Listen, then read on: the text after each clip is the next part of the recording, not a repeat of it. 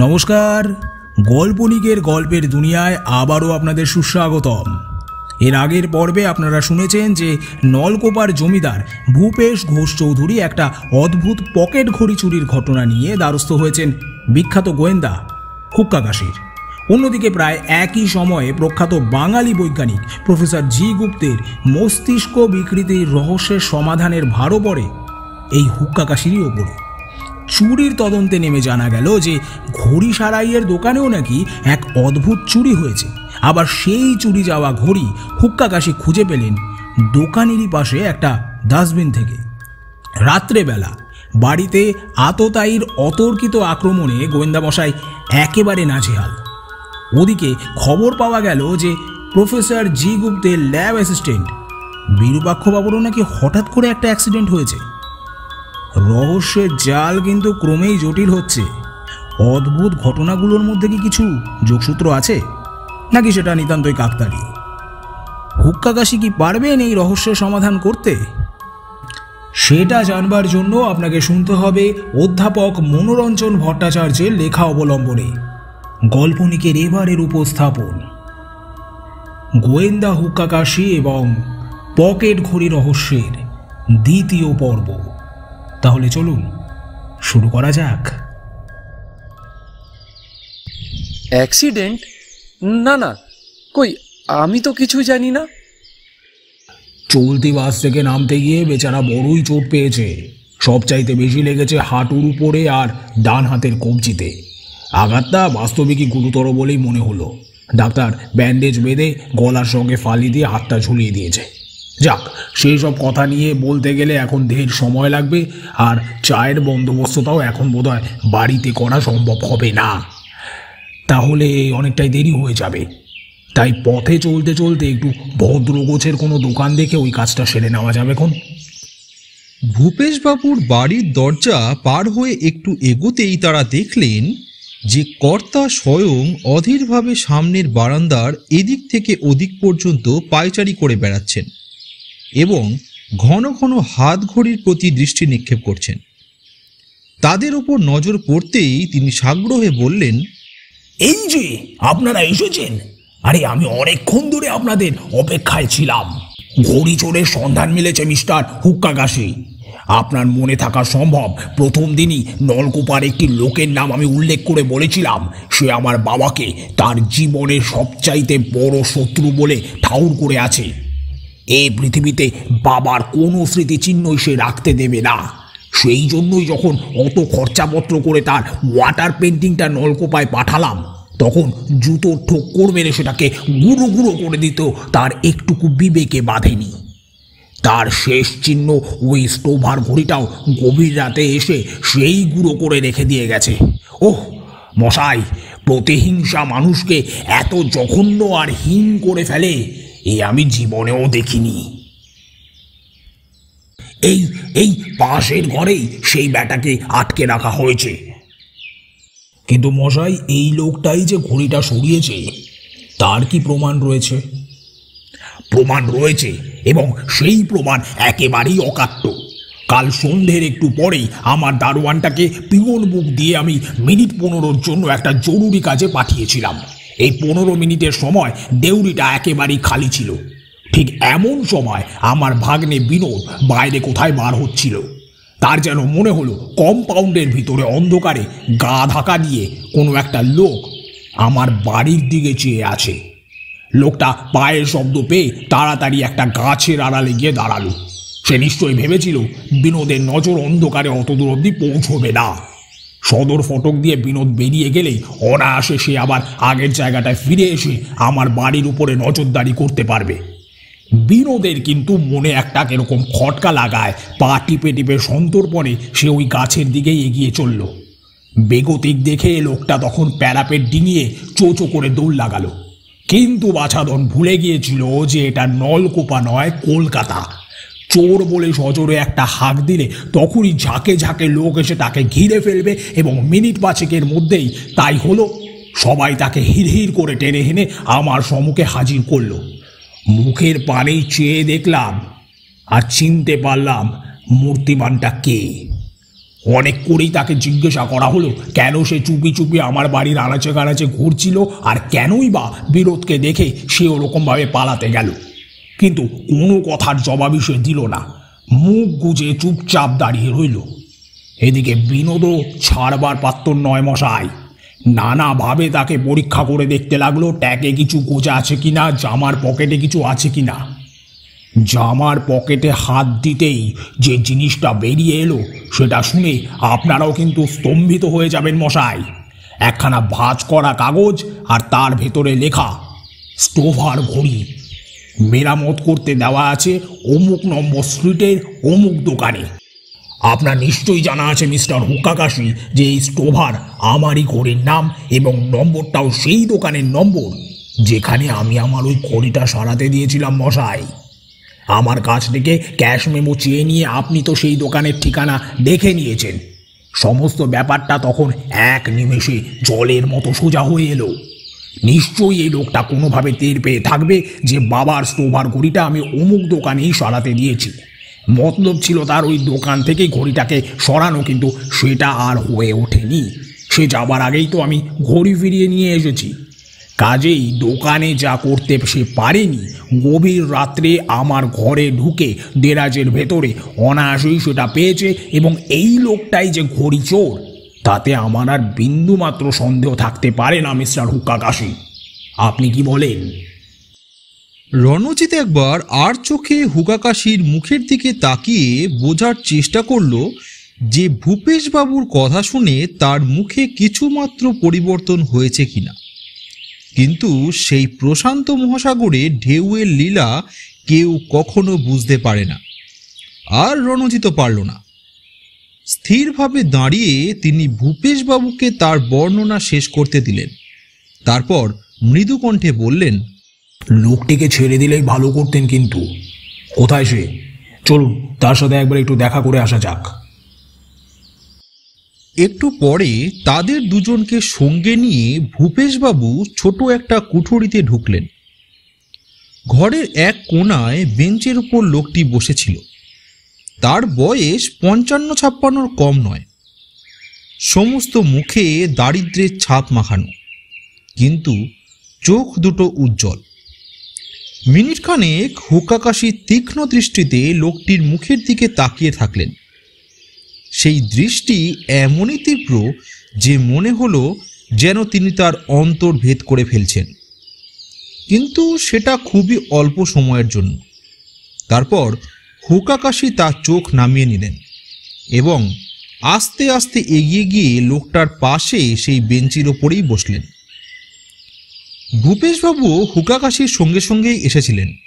তিনি বললেন, যাই বলুন মশাই, এই ভদ্রলোকের কল্পনা শক্তির তারিফ করতে হবে কিন্তু। সময় চেষ্টা করলে গল্প লিখে হিসাবে উনি রবি ঠাকুর শরৎ চাটুর্যকেও ছাড়িয়ে যেতে পারতেন। উহ, গল্প বানাবার কি শক্তি মশাই? জিজ্ঞাসা করা হলো, ওই কাগজখানা আপনার পকেটে এলো কি করে? তা কি বলল জানেন? বলল, নলকোপার কে নাকি দিন পনেরো কুড়ি আগে একবার কলকাতায় এসেছিল, তখন সেটা স্টোভার ঘড়িটা ওই দোকানেই মেরামত করতে দিয়ে যায়। ঘড়ি সারাতে দিয়ে সে বাড়ি ফিরে গিয়েছিল। ইনি কলকাতায় আসছেন শুনে ঘড়িটা ফিরিয়ে নিয়ে যাবার বরাত তাকে দিয়েছেন। তাই শুনে বিনোদ ফের জিজ্ঞাসা করেছে, তা সেই ঘড়িটা কোথায় দেখি তখন তার জবাব হলো সে ঘড়ি তো আর দেখবার উপায় নেই কেননা ঘড়িওয়ালা বলেছে তার দোকান থেকে নাকি সেটা চুরি গিয়েছে। কেমন? কি বুঝলেন? চেষ্টা করলে ইনি বড় নভেলিস্ট হতে পারতেন না হ্যাঁ? কি মনে হয় আপনার? এবার অবশ্য আর চোখে দেখার পালা হুকাকাশির।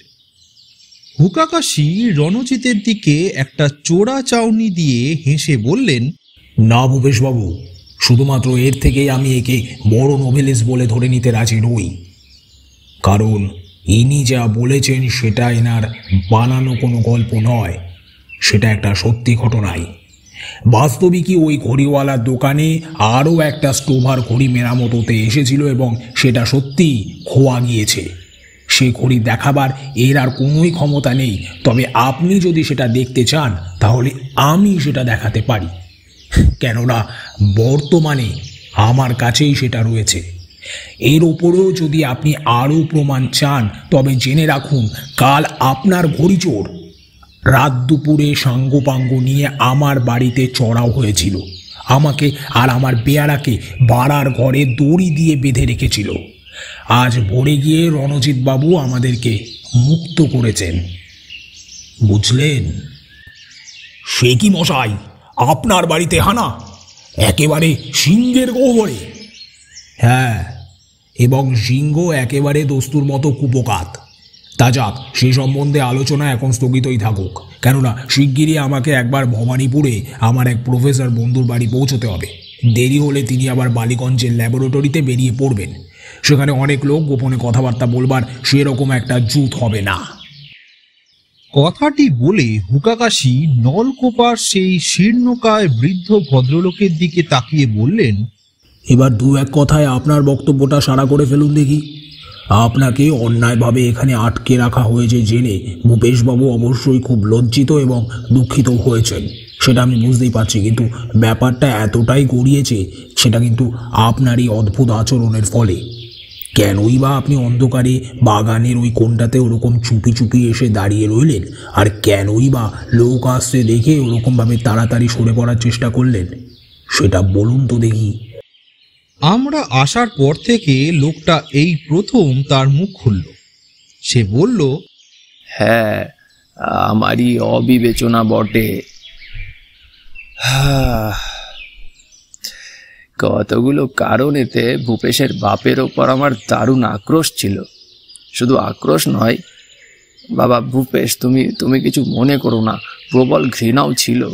কিন্তু রাগের বশে এবং সাময়িক উত্তেজনায় একদিন এমন একটা কাজ আমি করে বসলাম যে সে কথা মনে করতে আজও লজ্জায় আমার মাথা নুয়ে আসছে। হুম, মৃত ব্যক্তির ছবি লাথি মেরে চূর্ণ বিচূর্ণ করে দিলেন। তাই তো? হ্যাঁ স্থির জানতাম। এ ব্যাপারের পর ভূপেশ আর কিছুতেই আমায় ক্ষমার চক্ষে দেখতে পারবে না। তাই এই দীর্ঘ দশ বছর ধরে ওতে আমাদের কিছুতেই যাতে আর দেখা সাক্ষাৎ না হয়, সেইভাবেই চলে এসেছি। কিন্তু এই দিন কয়েক হলো, আমি কলকাতায় এসেছি।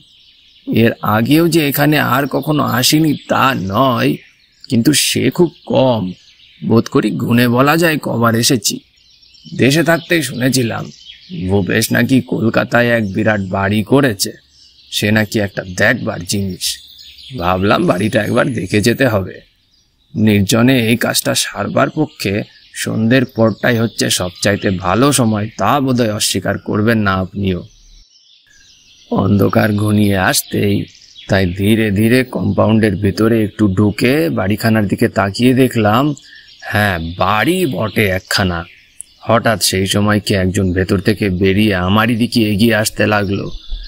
আমি দেখলাম, আমার পক্ষে এবার সরে পড়াই মঙ্গল, কেননা এরপর হয়তো আমার পরিচয় আর গোপন রাখা সম্ভব হবে না। কিন্তু কলকাতার রাস্তায় আচমকা দৌড়ে পালানো যে এত বড় বিপদের ব্যাপার, তা আমি খুনাক করেও জানতাম না। পিঠটা এখনও পর্যন্ত টনটনিয়ে রয়েছে। তারপর সেই বৃদ্ধের উদ্ধারের ব্যবস্থা করে দিয়ে অল্পক্ষণের মধ্যেই রণজিৎ এবং হুকাকাশি বাড়ি থেকে বেরিয়ে পড়লেন। হুকাকাশি উল্টো দিকের রাস্তা ধরে রণজিৎকে বললেন রণজিৎ বাবু আপনাকে আর এই রোদের মধ্যে কষ্ট দেওয়ার ইচ্ছে নেই। আপনি বরং বাড়ি ফিরে যান। আমি একটু আস্তে ধীরে ভবানীপুরের দিকে এগোই তাহলে। কিন্তু কেন মিস্টার হুকাকাশি? বোটানির অধ্যাপক মশাই আপনাকে এই ব্যাপারে কীভাবে সাহায্য করতে পারবেন আমি তো ধারণাই করতে পারছি না। কিন্তু হুকাকাশি তখন অন্য কোনো একটা বিষয় নিয়ে গভীর চিন্তায় মগ্ন ছিলেন। কথাটা তার কানে গেল কি না সঠিক বোঝা গেল না। তিনি আচমকা প্রশ্ন করলেন আচ্ছা ঘড়ির ওই দাগগুলো দেখে আপনার মনে কি কোনো প্রশ্নই উঠছে না রণজিৎ বাবু কোন দাগগুলোর কথা বলছেন? কাল রাত্রে আপনাকে দেখালাম না ওই চোরের হাতের বুড়ো আঙ্গুলের ছাপগুলোর পাশে কেমন যেন একটা অস্পষ্ট ডাক পড়েছে। ঘড়ির এপিতেও তেমনি ওপিতেও একই। এখন কথা হচ্ছে অতগুলো জিনিসের দাগ ঘড়ির গায়ে এলো কী করে? আর কেমন অস্পষ্ট ডাকগুলো দেখেছেন? সেটা কেন এবার একটু দূরেই দেখা গেল যে কালীঘাট যাওয়ার বাস আসছে। কাজেই আলোচনাটা তখনকার মতো মুলতুবি রেখে হুকাকাশি ইঙ্গিতে বাস থামিয়ে তাতে গিয়ে উঠলেন। আর রণজিৎ ধীরে ধীরে তার বাড়ির পথ ধরল। নানান জায়গা থেকে কয়েকদিন যাবৎ কতগুলো চিঠি এসে জমা হয়েছিল। রণজিৎ ঠিক করেছিল যে খাওয়া দাওয়ার পর সেগুলো জবাব লিখতে বসবে। এই জবাব দিতে বসেই তার সারা দুপুরটা যে কোন ফাঁক দিয়ে চলে গেল, বিকেল হওয়ার আগে সে তার কিছুই বুঝতে পেল না। হাতের কাজগুলো সেরে কাগজপত্র গোছাতে গোছাতে চাকরকে চা আনার জন্য সে যখন হুকুম দিল, তখন বেলা পাঁচটা বেজে গেছে। চা পান করে রণজিৎ বাড়ির বাইরে বেরিয়ে পড়ল। বড় রাস্তা দিয়ে হাঁটতে হাঁটতে ক্রমেই সে সেই মোড়টির সামনে এসে পৌঁছলো যেখানে ঘড়ির দোকানটা অবস্থিত। কয়েক পা এগোলেই প্রফেসর গুপ্তর বাড়ি। রণজিতের মনে হলো প্রফেসর পুত্র বিমলের সঙ্গে একবার দেখা করে তার বাবার বর্তমান অবস্থাটার খবর নেওয়া নিতান্তই দরকার। এই উদ্দেশ্যে সে একটু এগিয়ে বাইরের ফটকটা পার করে অধ্যাপক মশাইয়ের বাড়ির বারান্দায় গিয়ে উঠল। সামনের ঘরটাতে দুটো লোক কি একটা বিষয় নিয়ে উচ্চ কণ্ঠে আলোচনা করছিল। তার দু একটা কথা কানে আসতেই রণজিৎ বুঝল যে প্রফেসর গুপ্তের রহস্যজনক উন্মাদ লোক নিয়েই আলোচনা চলছে এবং সে আলোচনা চালাচ্ছেন বিমল ও বিরূপাক্ষ আচার্য। বিরূপাক্ষবাবু সান্ত্বনা সুরে বিমলকে বোঝাচ্ছিলেন যে সে নিরর্থক ওরকম ভেঙে পড়েছে। স্বনামধন্য হুকাকাশি নিজের মুখে যখন একবার আশ্বাস দিয়েছেন যে ব্যাপারটার কিনারা তিনি করবেনই তখন তার একটা হিললে হবেই। রণজিৎ বাইরে থেকে প্রশ্ন করল ভেতরে আসতে পারি কি? বিরূপাক্ষ গলা বাড়িয়ে রণজিৎকে দেখা মাত্র তার মুখখানা স্নিগ্ধ হাসিতে ভরে উঠল। সে বলল আরে এই যে আসুন আসুন। এক্ষুনি আপনাদের কথাই হচ্ছিল। আমার কিন্তু একটু ছোট্ট নালিশ আছে রঞ্জিত বাবু আপনারা এবার একটু গা করতে শুরু করুন তো। অধ্যাপক মশাইয়ের ব্যাপারটা একেবারে নিয়ে এলো যে। রণজিৎ তাকে প্রতি অভিবাদন করল। তারপর একটা চেয়ার টেনে নিয়ে বসতে বসতে বলল হ্যাঁ গা করতে এবার শুরু করব বই কি। কিন্তু ব্যাপারটা কি জানেন? মিস্টার হুকাকাশি অন্য একটি জটিল ব্যাপার নিয়ে এত মেতে গেছেন, সেটার একটু মীমাংসা করে আনতে পারলেই আপনাদের এটাতে হাত দেবেন। তার ক্ষমতা অসাধারণ, আপনারা নিশ্চিন্তে থাকুন। প্রফেসর গুপ্তের এই ব্যাপারে কোথাও যদি এতটুকু রহস্য থেকে থাকে, তবে ঠিক তিনি তা টেনে বার করবেন। কিন্তু যদিও আমার নিজের বিশ্বাস, অতিরিক্ত মানসিক মেহনতের জন্যই তার স্নায়ুর কোথাও কিছু একটি গণ্ডগোল হয়ে থাকবে। যার ফলে এই বিষম বিপত্তিটি ঘটেছে। অবশ্য বিমল এ কথার কোনো জবাবই দিল না। গম্ভীর মুখে চুপ করে বসে রইল। বিরূপাক্ষবাবু বললেন কিছুই জোর করে বলা চলে না রঞ্জিত বাবু ব্যাপারটা যতই তুলিয়ে বোঝবার চেষ্টা করছি কুল কিনারা যেন কোথাও পাচ্ছি না উফ। কথা বলতে বলতে অন্য মনস্কভাবে টেবিলের সঙ্গে ব্যান্ডেজ বাঁধা হাতটার একটা গুঁতো লাগতেই বিরূপাক্ষবাবুর মুখ থেকে একটা যন্ত্রণা সূচক শব্দ বেরোলো। বিমল ও রণজিৎ দুজনেই ত্রস্ত হয়ে উঠল। রণজিৎ বলল আজ সকালেই মিস্টার হুকাকাশির মুখে আপনার এই অ্যাক্সিডেন্টের কথাটি শুনেছিলাম। খুব জোর লেগেছে তাই না?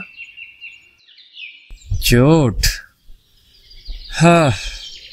কবজিটা যেন আর নেই বললেই চলে। শাস্ত্রে আছে, অতি দর্পে হত লঙ্কা। এতটুকু বয়স থেকে কলকাতা ব্যারাকপুর ডেলি প্যাসেঞ্জারি করছি। চলতি ট্রেনে ওঠানামা হরদম অভ্যাস।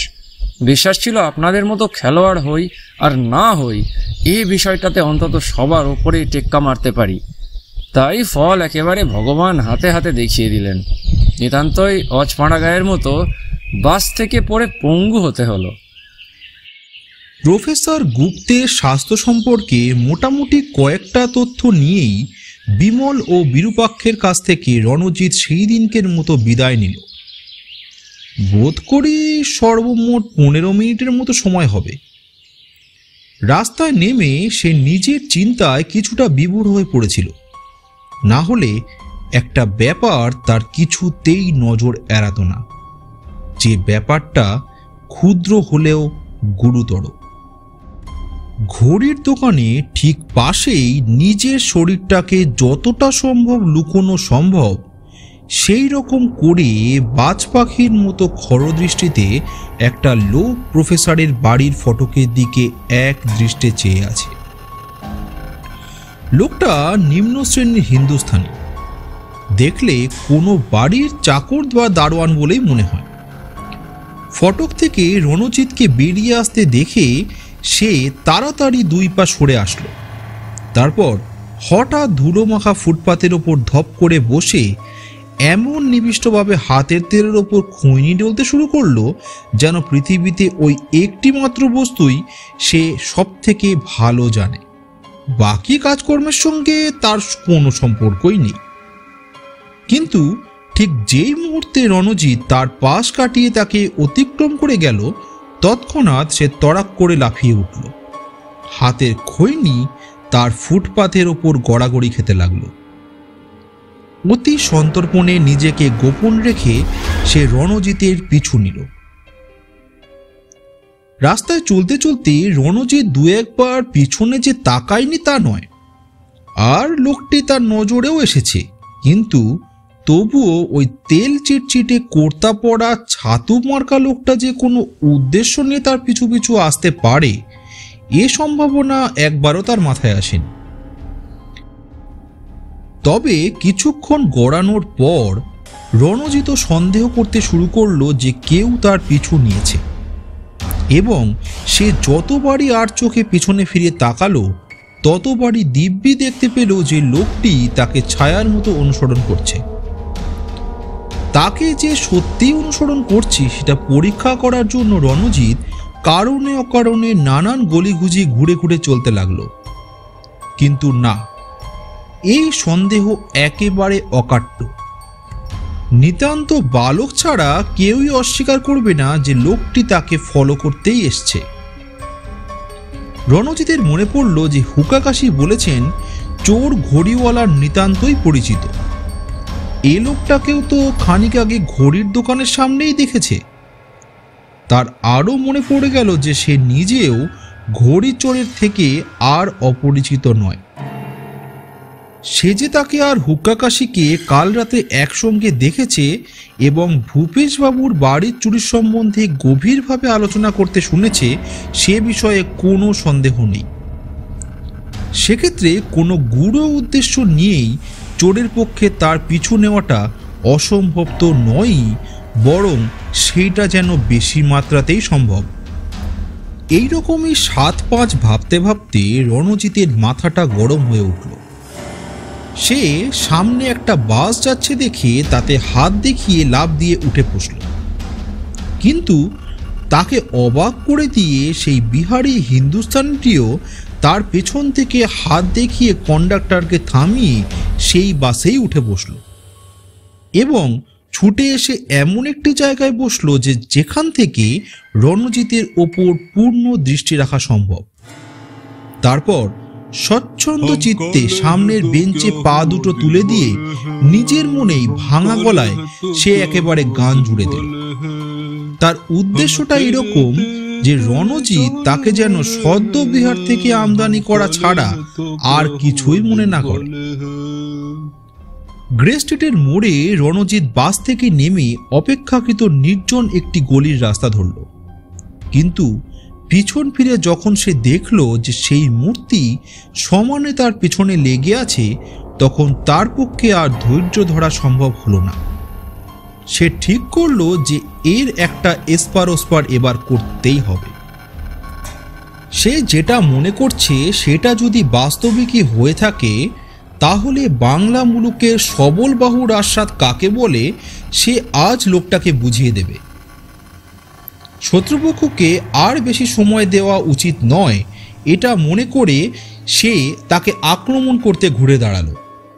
তারপর হঠাৎ থতমত খেয়ে গেল। যে লোকটি এক মুহূর্ত আগেই তার পিছনে ফলো করছিল, সেই মানুষটা হঠাৎই ভোজবাজির মতো অদৃশ্য হয়ে গেল। কিন্তু কীভাবে? রণজিৎ এবার একটু এগিয়ে গিয়ে এদিক ওদিক ফিরে দেখল। হ্যাঁ সত্যিই অনুসরণকারীর কোনো চিহ্নমাত্র নেই। ঘণ্টা দুই পরের কথা। রাত আটটা বেজে গেছে। একে তো কৃষ্ণপক্ষ, তার উপর সারা পাড়াতে রাস্তায় আলোর সংখ্যা অনেকটাই কম। কাজেই পাড়া একেবারে নিস্তব্ধ।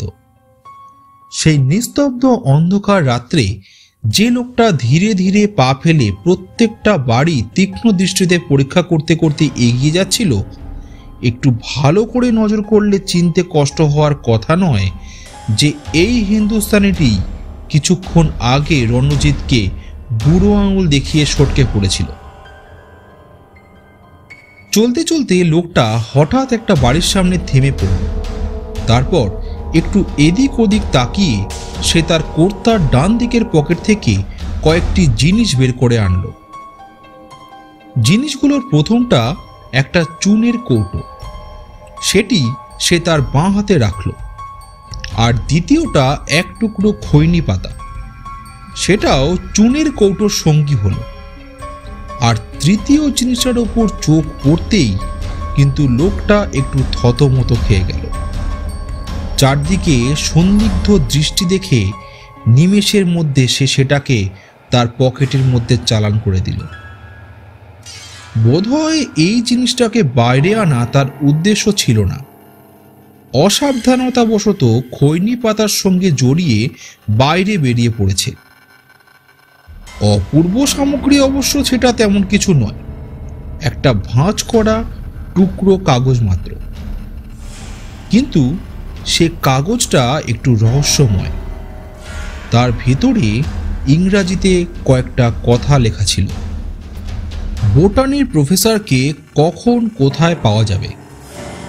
সকাল ছটা থেকে দশটা পর্যন্ত বাড়িতে, বেলা এগারোটা থেকে চারটে পর্যন্ত বালিগঞ্জে ল্যাবরেটরি ও কলেজে আর সন্ধ্যা সাড়ে সাতটার পর থেকে আবার বাড়িতে। আপাত দৃষ্টিতে কাগজটায় মারাত্মক কোনো খবরই নেই। কিন্তু ইংরেজি ভাষায় লেখা ওরকম একটা কাগজকে একটা নিরক্ষর হিন্দুস্তানির কর্তার পকেটে ঘুরতে দেখলে ব্যাপারটাকে রহস্যজনক বলেই মনে হয়। এবং সে যদি সন্ত্রস্তভাবে ক্ষিপ্রতার সঙ্গে কাগজটাকে লোকচক্ষুর আড়ালে উকে ফেলে তবে সে রহস্য আরও ঘনীভূত হয়। এবার লোকটা একটা বাড়ির দরজায় মৃদু করাঘাত করে হাঁকল। ভাই হো। খুট করে একটা দরজা খোলার শব্দ হলো আর সেই খোলা দরজার পথে বেরিয়ে আসলো আরেকজন হিন্দুস্তানি কিন্তু তাকে দেখে মনে হলো সে এই বাড়ির চাকর। যদিও তার দেশওয়ালি ভাইকে সে যে চিনতে পারল এমন কোনো লক্ষণই তার কথায় প্রকাশ পেল না। সে জিজ্ঞাসা করল হ্যাঁ কি চাই আরে বাবু বাড়ি আছে নাকি? প্রশ্ন এবং পাল্টা প্রশ্ন দুটোই অবশ্য হলো হিন্দিতে। ওই ভাষাটা আমি বুঝতে পারলেও লিখতে তেমন একটা পটু নই। কাজেই দুজনেরই কথোপকথন আমি বাংলাতেই লিখলাম।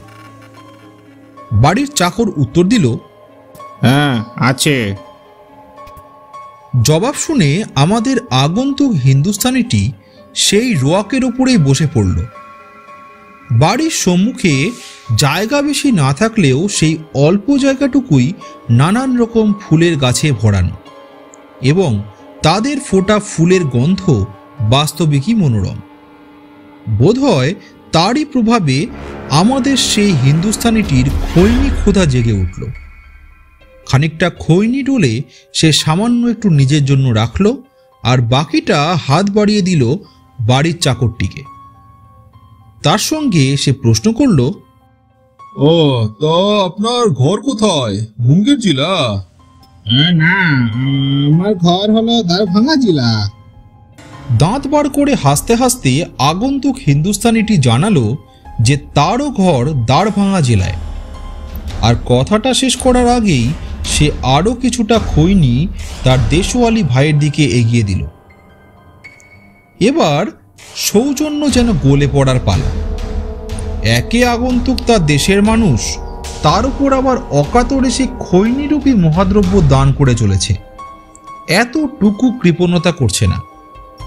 মিনিট দশেকের মধ্যেই তাদের আলাপ এমন গভীরভাবে জমে উঠল যে বোধ করি একে অপরের নিকট ঘরের কোনো কথাই আর অপ্রকাশিত রাখবে না সেই রূপ ব্যবস্থা হল।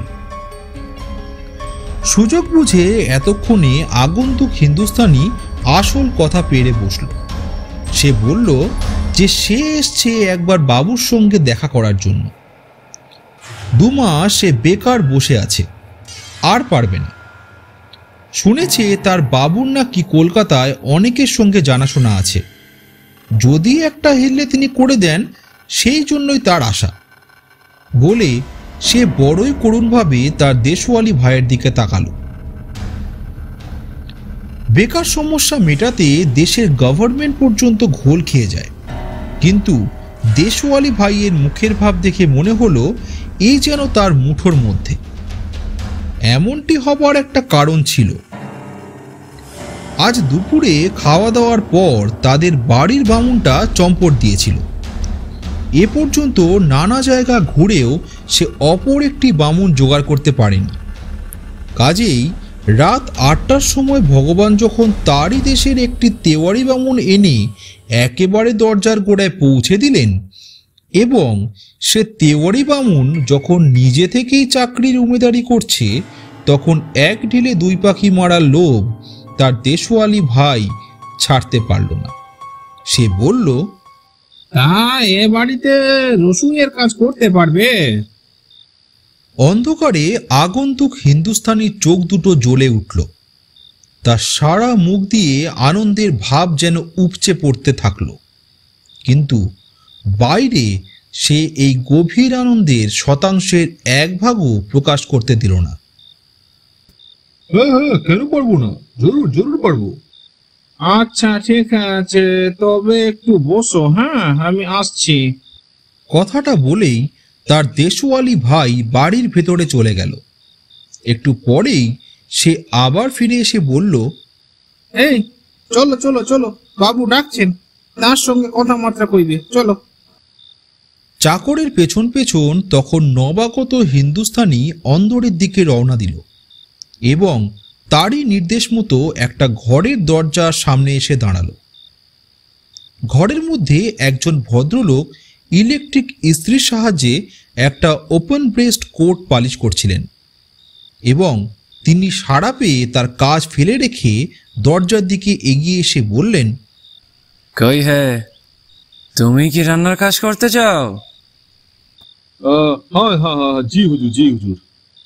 তা তুমি থাকো কোথায় কেউ তোমায় জানে শোনে এখানে आगे हुजूर हम ही तो अभी থাকে বালিগঞ্জ স্টেশন पर একটা চাচা আমার লাগে সে কুলি কা কাম করে এখানে আহ, এইখানে একটা ভাতিজা আছে তেনার বিমারি হয়েছেন তো এই জন্য এসেছেন তা রান্না বান্নার কাজ সব জানা আছে তো हाँ हाँ सभी जाने वो जो बालीगंज पुटानी वाला लेबोरेटरी में मोहिन बाबू प्रोफेसर जो छिलो और उनको बाड़ी में तो तीन बरस रसोई किए छे আচ্ছা তো আজকের রাতটা রাঁধো তো গিয়ে কেমন কাজকর্ম জানো সেসব দেখে কাল মাইনের কথাবার্তা হবে ক্ষণ কথাটি বলেই বাবু আবার নিজের কাজে ফিরে গেলেন মিনিট খানেক পর নবাগত যখন রান্নাঘরের সমস্ত চার্জ বুঝে নিল, তখন তার মনের ভেতরে আনন্দের বান ডেকেছে। আমি জোর দিয়ে বলতে পারি যে সেই সময় যদি কেউ তার হাতে খান দুয়েক হাজার টাকার নোট গুঁজে দিত, তাহলেও সে এর চেয়ে বেশি আনন্দ পেত না। রাত্রি এগারোটার মধ্যে খাওয়া দাওয়ার সমস্ত পাট চুকে গেল। নতুন পাচক মনিপকে খুশি করেই খাইয়ে দিল। রাত বারোটার পর সে বাড়ির আর একটা প্রাণীও জেগে রইল না। শুধু ঘুম নেই বামুন ঠাকুরের চোখে। কিন্তু কি মতলবে? সেটা কে বলবে? দেখতে দেখতে আরও ঘন্টাখানেক সময় কেটে গেল। ঢং করে একটা বাজার সঙ্গে সঙ্গে দেখা গেল অমাবস্যা সূচিভেদ্য অন্ধকারে উঠোনের উপর একটা ছায়ামূর্তি নড়ে চড়ে বেড়াচ্ছে। উঠোনের চারপাশে পাঁচ ছ হাত উঁচু ইটের দেওয়াল, তারপর সরু গলি। নিতান্ত অবলীলাক্রমে সেই মূর্তিটি দেওয়াল টপকে গলির মধ্যে এসে নামল। এইবার রাস্তার আলো তার মুখের ওপর এসে পড়ায় স্পষ্ট বোঝা গেল যে বামুন ঠাকুর রাতারাতি গোপনে সে বাড়ি থেকে কেটে পড়ল। তার মুখের ভাবে আরও বোঝা গেল যে সে যে উদ্দেশ্য নিয়ে এ বাড়িতে এসেছিল, তা পুরো মাত্রায় সিদ্ধ হয়েছে। গলির পথ ধরে লোকটা ক্রমেই বড় রাস্তায় এসে পৌঁছল। মিনিট পনেরো চলার পর শেষে রাস্তার ধারে যে ঘরটার কাছে সে এসে দাঁড়াল, তার মাথার উপর একটা সাইনবোর্ড। এবং সেটা দেখলেই জানা যায় যে সেটা একটা নাপিতের দোকান। তবে হাল ফ্যাশনের। দরজায় দুবার টোকা মারতেই একটা লোক তাড়াতাড়ি দরজা খুলে খাটো গলায় জিজ্ঞাসা করল কি খবর? হ্যাঁ হ্যাঁ ভয়ানক রকম ভালো। তাড়াতাড়ি এখন একটু চায়ের জোগাড় দেখতো ভাই। সেদিন সন্ধ্যার পর বাড়ি ফিরে রণজিতের আক্ষেপের অন্ত রইল না। সে কেবলই মনে করতে লাগল যে আজ সে তার নিজের বুদ্ধির দোষে একটা মস্ত বড় সুযোগ হারিয়েছে। এই রহস্যময় হিন্দুস্তানি ভূপেশবাবুর ঘড়ির সঙ্গে যে জড়িত, সে বিষয়ে তার বিন্দুমাত্র সন্দেহ নেই। না হলে গোপনে রণজিৎকে অনুসরণ করার আর কোনো কারণই থাকতে পারে না। সে হুকাকাশির মুখে শুনেছিল যে সেদিন যখন ডাস্টবিন থেকে পাঁচশো আঠেরো নম্বরের ঘড়িটা উদ্ধার করা হয় এবং তারপর ঘড়িচোর তাকে এবং হুকাকাশিকে একসঙ্গে অপরাধী খুঁজে বের করার প্রয়াস করতে দেখে, তখনই তার মনে তাদেরকে নানান রকম বিপদে ফেলার পরিকল্পনা এঁটে ওঠে। গভীর কোনো মতলব মনে মনে এঁটেই যে সে তাকে অনুসরণ করছিল সেটাতে তার কোনো সন্দেহই নেই। অথচ রণজিৎ এমনই মূর্খ যে সমস্ত জেনে শুনেও নিতান্তই আনাড়ির মতো সমস্তটা মাটি করে ফেলল।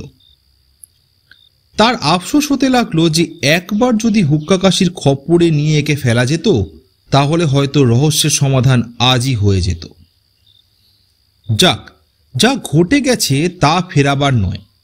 তবে কাল সকালে গিয়ে হুকাকাশিকে সমস্ত কথা না বললেই নয়। পরদিন সকালে রণজিৎ যখন হুকাকাশির বাড়ির দিকে রওনা দিল, তখন বেলা আটটা। হুকাকাশির বাড়ির সামনে আসতে রাস্তা থেকেই নজরে পড়ল যে সামনের বসার ঘরে বসে হুকাকাশি আরও যেন কাদের সঙ্গে কথা বলছেন। হুকাকাশির বাড়িতে রণজিতের লোকাচারের কোনো বালাই নেই। তাই সে শটান গিয়ে ভেতরে ঢুকে পড়ল। দেখল নূতন লোক কেউই নয়, তারা বিমল এবং বিরূপাক্ষ আচার্য।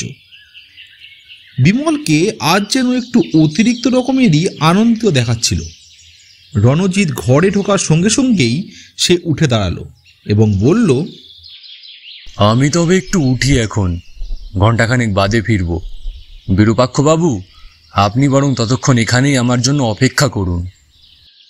তারপর রণজিতের দিকে ফিরে বলল একটি কথা শুনে খুব খুশি হবেন রঞ্জিতবাবু।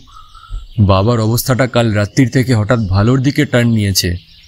ডাক্তারেরা দেখে খুব আশা পেয়েছেন বলেছেন এরকম চললে মাসখানেকের ভেতরেই তাকে সম্পূর্ণ আরোগ্য করে তুলতে পারবেন। আচ্ছা আমি চলি নমস্কার। খবরটাতে যে বাস্তবিকই আনন্দ পাওয়ার কথা, সেই রকমটা বলে রণজিৎ বিমলকে প্রতি নমস্কার করল। তারপর তারই ছেড়ে যাওয়া চেয়ারটি দখল করে তাদের সামনে বসে পড়ল। হুকাকাশি বলল, সামনের রাস্তা দিয়ে এরা দুজন যাচ্ছিলেন। আমায় ঘরে বসে থাকতে দেখে খবরটা দিতে ভিতরে এসে ঢুকেছেন। ডাক্তারদের নাকি এখন অনুমান হচ্ছে, প্রফেসর গুপ্তের হঠাৎ করে এরকম মাথা নষ্ট হবার পেছনে একটা রহস্য টাকা খুবই স্বাভাবিক। বিরূপাক্ষবাবুর অ্যাক্সিডেন্টটা ওকে খুব কাবু করে ফেলেছে, তাতে খুব সন্দেহ নেই। কিন্তু তাতেও ইনি পিছপা হতে বিন্দুমাত্র রাজি নন। রহস্য আবিষ্কারে আমাকে পুরো মাত্রায় সাহায্য করবেন বলে কথা দিয়েছেন। তারপর রণজিৎবাবু, ভূপেশবাবুর সাথে এর মধ্যে আর দেখা হয়েছে? না, এই তস্তত করার কোনো কারণ নেই। কথাগুলো সাত পাঁচ কান করা ঠিক নয়। কিন্তু বিরূপাক্ষবাবুর সামনে আপনি অনায়াসেই সে সমস্ত কথা আমাকে বলতেই পারেন। না, তা নয়। তবে কিনা আমার একটা মস্ত বড় ত্রুটির কথা এক্ষুনি আপনার কাছে স্বীকার করতে হবে। তাই আগে হইতেই মাপ চেয়ে রাখছি। হয় ঘড়িচোর স্বয়ং আর না হয় তারই কোনো অন্তরঙ্গ সাকরেদ একেবারে আমার মুঠোর ভেতর এসে পড়েছিল।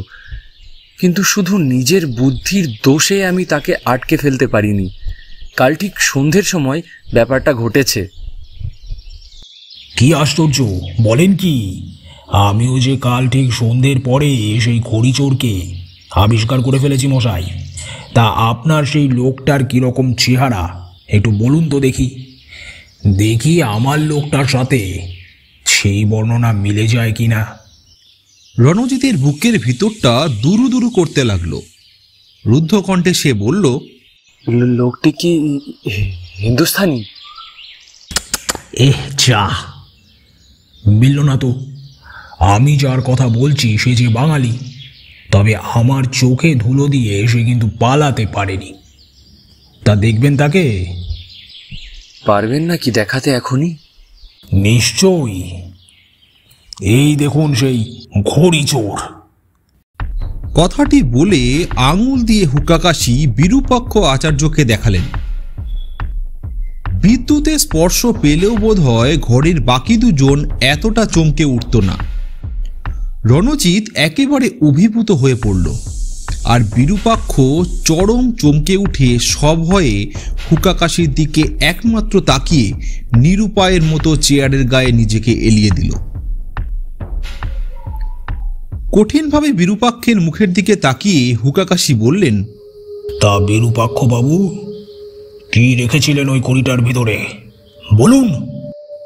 মাটির দিকে দুচোখ দিয়ে সম্পূর্ণ লজ্জিতভাবে বিরূপাক্ষবাবু বললেন একটুখানি মানে রেয়ার আর্থ মেটাল হুকাকাশির চোখ দুটো জ্বলন্ত কয়লার মতো জ্বলে উঠল এবং স্বভাবের সম্পূর্ণ বিপরীতভাবে তিনি চিৎকার করে উঠলেন। অকৃতজ্ঞ নরাধম তোমার উপযুক্ত শাস্তি ওই ওইটা দিয়ে তোমাকে পেটানো উচিত। কথাটা বলে হুকাকাশি দেওয়ালের গায়ে ঝোলানো একটা চাবুকের দিকে নির্দেশ করলেন। রণজিৎ বিমুড়ের মতো শুধু একবার এর আর একবার ওর দিকে তাকাতে লাগল। কিন্তু তার কিছুই বোধগম্য হচ্ছিল না। তার মনে হলো রহস্যটা যেন সরল হওয়া তো দূরে থাক, আরও যেন গভীর হয়ে উঠছে। কিন্তু ততক্ষণে হুকাকাশি তার সাময়িক উত্তেজনা সম্পূর্ণ দমন করে ফেলেছেন। একটু মৃদু হেসে রণজিতের দিকে তাকিয়ে তিনি বললেন, হুম হুম ওরকম হতভম্বের মতো আমার দিকে তাকাবেন না রণজিৎ বাবু। রহস্য ষোলো আনায় ভেদ হয়ে গিয়েছে, কোথাও এতটুকু ঠেকেনি। মানুষ খোদ শয়তানের চেলা হয়েও ভালো মানুষের মুখোশ পরে কীভাবে হেসে খেলে বেড়াতে পারে, তারই গল্প আজ আপনাকে শোনাবো। প্রফেসর গুপ্ত, যার দয়ায় এ হতভাগা আজকে লোক সমাজে মাথা তুলে দাঁড়াতে পেরেছে, দেখবেন নিজের ঘৃণ্য স্বার্থের কাছে কীভাবে সেই প্রফেসর গুপ্তকে বলি দিতে এর এতটুকু বিবেকে বাঁধেনি। এমনই নিমক আরাম। যেভাবে আস্তে আস্তে এগোবার ফলে ধীরে ধীরে সমস্ত ব্যাপারটা আমার চোখের সামনে ভেসে উঠেছে, ঠিক সেইভাবেই আমি আপনার গল্পটা বলে যাই। আপনি শুনুন। কেমন? সেদিন ভূপেশবাবু এসে তার ঘড়ি চুরির যে বর্ণনা দিয়ে গেলেন, তা বাস্তবিকই খুব বিস্ময়কর? সাধারণ শ্রেণির কোনো চোরের কাজ যে এটা নয়, সেটা একেবারে নিশ্চিত হয়ে গিয়েছিলাম, কেননা দেরাজের ভেতর হলে তাহলে গয়নাগুলো কখনোই পাওয়া যেত না। যদি বলেন এটা পাগলের কাণ্ড, তাও বিশ্বাস করতে প্রস্তুত নই, কেননা অতখানি হুঁশিয়ারির সঙ্গে কাজ হাসিল করা যে কোনো পাগলের পক্ষেই একেবারে অসাধ্য। ঘড়িটার উপরে কারোর আক্রোশ আছে, এমন কোনো প্রমাণও পাওয়া গেল না। ভূপেশবাবু অবশ্য তার নলকোপার শ্রীশ চাতুর্যের কথা বলেছিলেন বটে, কিন্তু সেটাও সম্ভবপর নয়। ভেবে দেখুন, যে লোকটাকে আপনি অন্তরের সঙ্গে ঘৃণা করেন, সকলে মিলে তারই ছবি নিয়ে পুজো করছে, এ দৃশ্য দেখলে হয়তো আপনি নিজেকে সামলাতে না পেরে গিয়ে ছুটে সেই ছবিখানাকে ভেঙে দেবেন, এটা খুব একটা বিচিত্র নয়। কিন্তু তাই বলে সেই রাগটাকে আজন্মকাল পুষে রেখে তার মরার পঁয়ত্রিশ বছর পরে কোথায় কোন ঘড়ি না কি এক স্মৃতিচিহ্ন রয়েছে সেইটাকে চুপি চুপি সরিয়ে নষ্ট করে ফেলা। এই শুধু গল্প উপন্যাসেই পড়া যায়। বাস্তব জগতে কখনোই চোখে পড়ে না। আমার ধারণা যে অভ্রান্ত, তার পরিচয়ও পরে আপনারা পেয়েছেন। এই পর্যন্ত বলে হুকাকাশি একটু থামলেন। তারপর তার নস্যদানটা থেকে এক টিপ নস্য নিয়ে পুনরায় বলতে শুরু করলেন। ব্যাপারটা কেমন ক্রমেই ঘোরালো হয়ে উঠেছে দেখছেন? যতগুলো সম্ভাবনা থাকতে পারে, খুঁটিয়ে দেখার ফলে কিন্তু সবগুলোই ব্যর্থ হয়ে যাচ্ছে। কোনো অর্থই যেন এই চুরির পেছনে থাকতে পারে বলে মনে হচ্ছে না, কিন্তু মাথা ঠান্ডা করে বেশ খানিকটা তলিয়ে দেখলে পরে। আরও একটা সম্ভাবনার কথা কিন্তু ধীরে ধীরে মনের ভেতরে উকি মারতে থাকে। এমনও তো হতে পারে যে ঘড়িটা নেওয়া চোরের একেবারেই উদ্দেশ্য ছিল না। ঘড়ির ডালার নিচে আর এমন কিছু একটা লুকোনো ছিল। সেই ওই এমন কিছুটাই চোরের আসল উদ্দেশ্য ছিল। সেটা উদ্ধারের পর ঘড়িতে আর তার কোনো প্রয়োজন ছিল না, তাই সেটাকে সে দূরে ছুঁড়ে ফেলে দিয়ে চলে গিয়েছে। অন্যান্য সবগুলো সম্ভাবনা যখন একে একে যুক্তিতর্কতে বাতিল হয়ে পড়ল তখন এই সন্দেহটাই একমাত্র সম্ভাবনা বলে স্বভাবতই মনের কোনায় জেগে উঠল। এত কষ্ট করে এবং এত সন্তর্পণে যে ঘড়িটা হাতে এসেছে, সেটাকে সঙ্গে করে না নিয়ে গিয়ে ফেলে রাখলে তো সন্দেহটা বাড়বে বই কমবে না। কিন্তু অনেক কিছু ভাববার আছে এর ভেতরে। ঘড়িটা আজ প্রায় তিরিশ পঁয়ত্রিশ বছর ধরে ভূপেশবাবুর নিজের কাছে রয়েছে তার সিন্দুকের মধ্যে, আর চাবি বরাবর তার কাছেই থাকে। তার সম্পূর্ণ অজান্তে অপর কোনো লোক এই ঘড়ির ডালার নিচে কোনো কিছু লুকিয়ে রাখবার সুযোগ সুবিধা পাবে কোথা থেকে? তার অজান্তে বলছি এই জন্যই যে এরকম একটা কিছু ঘটার সম্ভাবনা থাকলে বা সেটা তিনি জানলে তিনি অবশ্যই আমাদের সেটা বলতেন। কাজেই বুঝলাম যে আমার অনুমান যদি সত্যি হয়, তাহলে দিন কয়েকের জন্য ঘড়িটা নিশ্চয়ই ভূপেশবাবুর কাছ থেকে অন্য কারোর হাতে গিয়েছিল। কিন্তু কার হাতে যেতে পারে? এমন একটা পুরনো বাতিল ঘড়িতে কার দরকার থাকতে পারে। কারুর বলে তো মনে হয় না। সুতরাং ঘড়ি যদি বাস্তবিকই এর মধ্যে ভূপেশবাবুর হাতছাড়া হয়ে থাকে, তবে নিশ্চয়ই সেটা কোনো ঘড়িওয়ালার দোকানে তিনি মেরামত করতে দিয়েছিলেন এবং সেই সময়তেই সেই সময়তেই কেউ এর দালার নিচে কোনো জিনিস লুকিয়েছে। তাই ভূপেশবাবুকে প্রশ্ন করেছিলাম আচ্ছা চুরি যাওয়ার কয়েকদিন আগে কোনো দোকানে ঘড়িটাকে মেরামত করতে পাঠিয়েছিলেন কিনা বলুন তো? ভূপেশবাবু চমকে উঠে আমার দিকে তাকিয়ে বললেন, মেরামত করতে দিয়েছিলেন এবং সে কথাটা তিনি বলেননি, তবু আমরা জানলাম কি করে? এখনও পর্যন্ত তো সে কথা আমাকে তিনি বলেনি আমার প্রশ্নে আপনিও কিন্তু কম আশ্চর্য হননি রণজিৎবাবু। কিন্তু এখন বুঝতে পারছেন তো, এতে আশ্চর্য হবার কিছুই ছিল না। গোড়া থেকে ব্যাপারটাকে সঠিকভাবে আন্দাজ করতে পারলে এই প্রশ্নটা হয়তো আপনাদের মনেও উঠত। না উঠলেই বরং আশ্চর্য হতেন। তাই নয় কি? আমার দ্বিতীয় প্রশ্নটা আপনাদের কানে আরও অদ্ভুত শোনালো। আমি জানতে চেয়েছিলাম ভূপেশবাবুর বাগানটা কি একটানাই ফুলেরই বাগান, নাকি সেটাতে ফোয়ারা টোয়ারা জাতীয় অথবা কৃত্রিম পাহাড়ের মতো কিছু একটা আছে? ঘড়ি চুরির সঙ্গে এ কথার কী সম্পর্ক থাকতে পারে, সেটা না বুঝে আপনারা আপনাদের চোখ দুটোকে কীরকম যেন বহরমপুরি ছানা বড়ার মতো করে তুলেছিলেন। সেটা মনে করে কিন্তু এখনও আমার হাসি পাচ্ছে মশাই। কিন্তু প্রশ্নটা কি বাস্তবিকে অবান্তর ছিল? আপনাদের হয়তো মনে আছে ভূপেশবাবুর ছেলে। ঘড়িটাকে কিন্তু ভাঙা অবস্থায় তাদের বাগানের ভেতরেই কুড়িয়ে পেয়েছিল। এখন ঘড়ি চুরির যে কারণটা আমি মনে মনে ঠাউরেছি, সেটা যদি বাস্তবিকই ঠিক হয়, তবে স্বভাবতই মনে কিন্তু দু দুটো প্রশ্ন ওঠে। ঘড়ি বাগানের ভেতরই বা গেল কেন আর ওটাকে ভাঙা অবস্থাতেই বা দেখছি কেন? ঘড়ির ডালার নিচে যদি কোনো জিনিস লুকোনো থাকে, তবে চোর তো ঘর থেকে বেরিয়ে এক নিমেষেই সেটাকে বার করে নিয়ে রাখতে পারে। বাগানের ভেতরে ঢোকার তো তার বিন্দুমাত্র কোনো দরকার নেই। দ্বিতীয়ত, ঘড়ির ওপরে চোরের তো কোনো রাগের কারণ নেই। তাহলে সে কেন মিচিমিচি অত কষ্ট করে বাগানে ঢুকে সেটাকে ভাঙতে যাবে? এই দুটো প্রশ্নেরই একটা জবাব সম্ভব। ঘর থেকে চোর ঘড়িটাকে বার করে নিয়ে বাইরের বারান্দাতে এসেছিল। তারপরে ডালা খুলে জিনিসটাকে উদ্ধার করে অপ্রয়োজনীয় বোধ করে ঘড়িটাকে বাগানের দিকে ছুঁড়ে ফেলে দিয়েছিল। কিন্তু বাগানের নরম ঘাসের উপরে পড়লে ঘড়িটা তো ওইভাবে ভেঙে যাওয়া উচিত নয়। নিশ্চয়ই তাহলে কোনো শক্ত জিনিসের গায়ে ধাক্কা খেয়েছে। ভূপেশবাবু ধনী এবং শৌখিন তার বাগানের ভেতরে ইটের পাঁজা বা অন্য কোনো বাজে শক্ত জিনিস থাকার কথা নয়। বড় লোকের বাগানে শক্ত জিনিসের ভেতরে শতকরা সত্তর ভাগই থাকে জলের ফোয়ারা আর কৃত্রিম পাহাড়।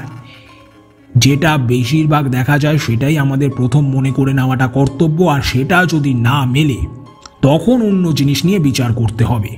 তাই জিজ্ঞাসা করেছিলাম ভূপেশবাবুকে যে তার বাগানে জলের ফোয়ারা বা কৃত্রিম পাহাড় জাতীয় ওই সব কিছু আছে কিনা। এই কথা জিজ্ঞাসা করার তাৎপর্য এই যে বাগানে যদি শুধু একটাই ফোয়ারা থাকে, তবে অন্য জায়গায় ঘড়িটা এসে না পড়ে ঠিক তার গায়ে এসে পড়াটা অনেকটাই দৈবের ব্যাপার মতো হয় কিন্তু সারি সারি অনেকগুলো ফোয়ারা থাকলে একটা না একটার গায়ে ঘড়িটা এসে পড়া খুবই সম্ভব। ভূপেশবাবু জবাব দিলেন, না, নিতান্ত দু একটাও নয়, বেশ কয়েকটা ফোয়ারা আছে। আপনি পরে হয়তো শুনে থাকবেন, এইরকমই একটা ফোয়ারার কাছে ঘড়িটা পাওয়া গিয়েছিল। এরপর ভূপেশবাবুর বাড়িটা আমি একবার দেখে এলাম। উদ্দেশ্য আর কিছুই নয়, সিঁড়ি, বারান্দা এবং বাগানে কীভাবে কোন জায়গাটায় কোন দিক দিয়ে ঢোকা যায় বা বেরোনো যায় সেটাই জানা। দেখা গেল অন্দর থেকে ছুটে রাস্তায় বার হয়ে এসে চোর প্রথমেই বারান্দা পেয়েছে। বারান্দার পাশেই সিঁড়ি এবং দুধারে বাগান। বুঝলাম যে বারান্দা থেকে বাগান বরাবর সে ঘড়িটাকে ছুঁড়ে ফেলেছিল। তারপরে সিঁড়ি দিয়ে নেমে বাড়ি থেকে বার হয়ে গিয়েছিল। এইবার প্রশ্ন উঠছে, ঘড়ির ভেতরে সেই মূল্যবান জিনিসটা কে রাখল? ঘড়িওয়ালা যে নয়, তা তো একেবারে নিশ্চিত।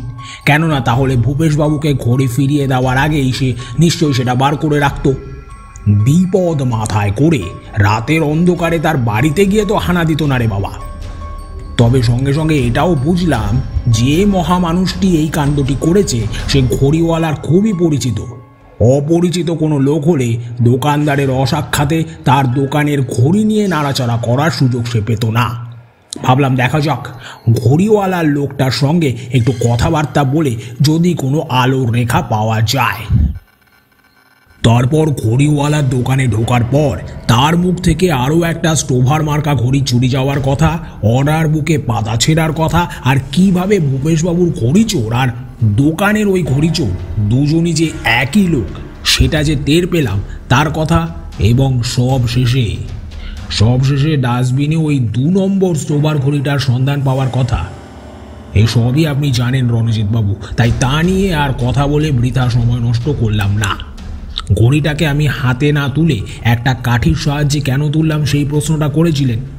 সেরকম করার এই কারণ যে যদি চোরের হাতের ছাপের কোনো একটা হদিশ পাওয়া যায়, কিন্তু এরই থেকে সামান্য একটা ব্যাপার, অথচ অতি আশ্চর্য রহস্য যে আমাদের চোখের সামনে খুলে যাবে, সেটা কি আমরা স্বপ্ন ভেবেছিলাম? অপরাধীকে খোঁজার সুবিধার জন্য যারা হাতের ছাপ নিয়ে ঘাটাঘাটি করে থাকেন, তারা সাদা মতো একটা বকন গুঁড়ো ব্যবহার করে থাকে, যেটা অস্পষ্ট ছাপের উপরে পড়ে সেটাকে সুস্পষ্ট করে তোলে। সেটা আপনি আমার বাড়িতে অবশ্যই দেখে থাকবেন। সময় বিশেষে কাজে লাগতে পারে বলে সেরকম একটা গুঁড়োর প্যাকেট আমি নিজের কাছে রেখে দিয়ে থাকি। ঘড়ির ওপরে সেই গুঁড়ো ছড়াতেই এক আশ্চর্য ব্যাপার আমার চোখে পড়ল। ঘড়ির যেখানে যেখানে বুড়ো আঙ্গুলের ছাপ ঠিক তার পাশেই একটা অতি ছোট কিন্তু অস্পষ্ট রকমের একটা দাগ বারবার দেখা গেল। খুবই ছোট এবং অস্পষ্ট হলেও সেটাকে কিন্তু আমার প্রথম থেকেই আঙ্গুলের দাগ বলেই মনে হয়েছিল।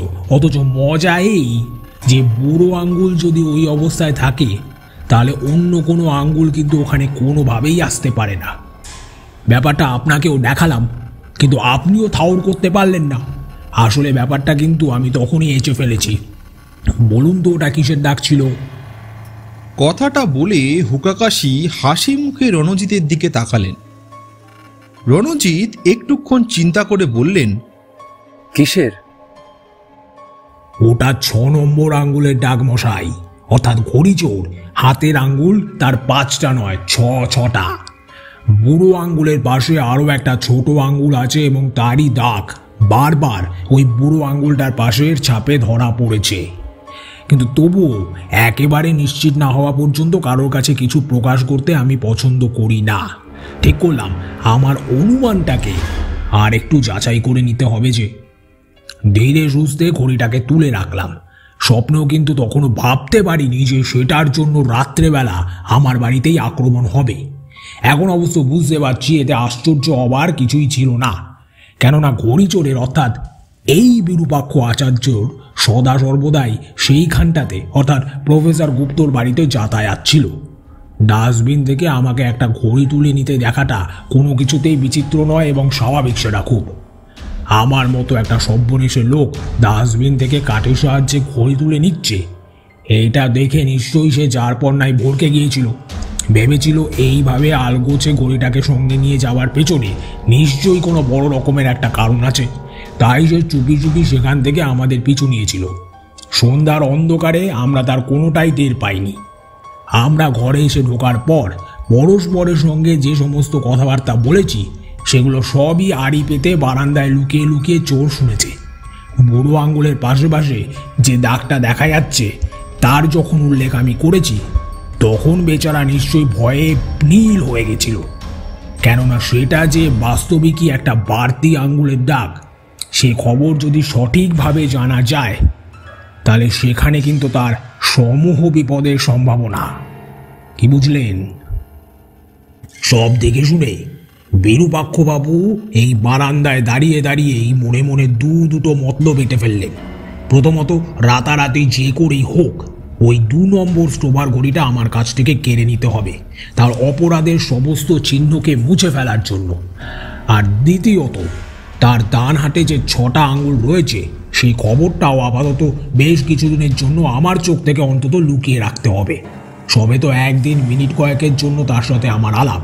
কাজেই বুড়ো আঙ্গুলের পাশে অত ছোট আঙ্গুলটা আমার লক্ষ্যতে না পড়ারই কথা, এবং সেটা বাস্তবিকই সত্য। বলতে কি আমার চোখে কিন্তু তখন সেটা ধরা পড়েও নি।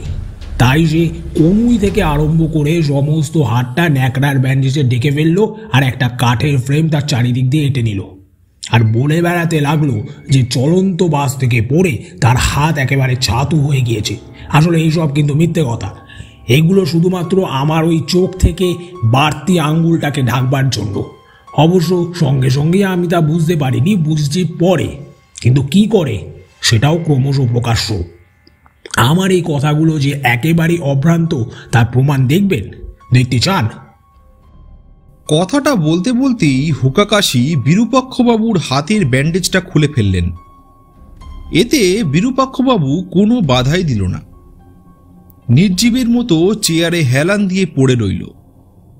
একটু পরে রণজিৎ দেখল যে বিরূপাক্ষবাবুর হাত দিব্যি অক্ষতভাবেই রয়েছে। তাতে কোথাও এতটুকু আঁচড়ের দাগ নেই।